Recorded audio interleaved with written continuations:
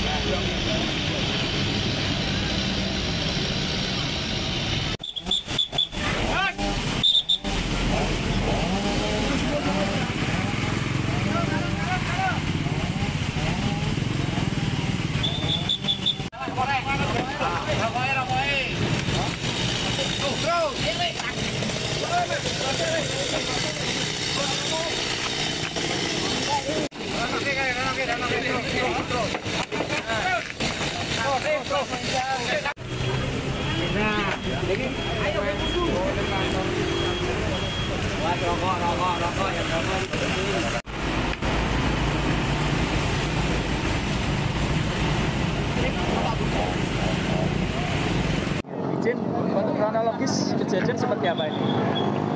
Baik, bisa kami laporkan dari Satlantas Polres Salatiga dari keterangan saksi maupun olah TKP kami lakukan untuk kronologinya truk dari arah Tinggir menuju Blotongan muatan jagung kemudian sesampainya di turunan JLS setelah Simapat Kobol Rejo mengalami gangguan fungsi rem.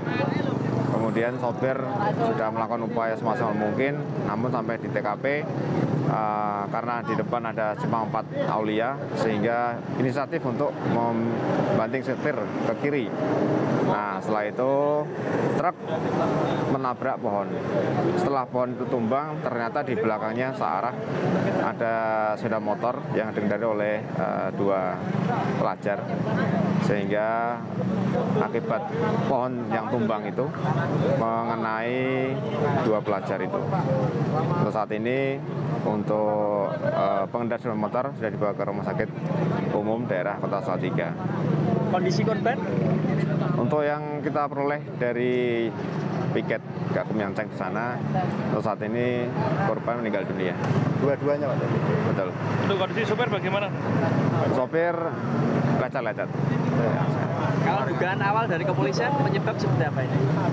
Ya, kalau untuk situasi yang sudah uh, terjadi menurut pengamatan kami memang uh, karena benturannya cukup keras ya. Kemudian juga tidak ada jejak pengereman.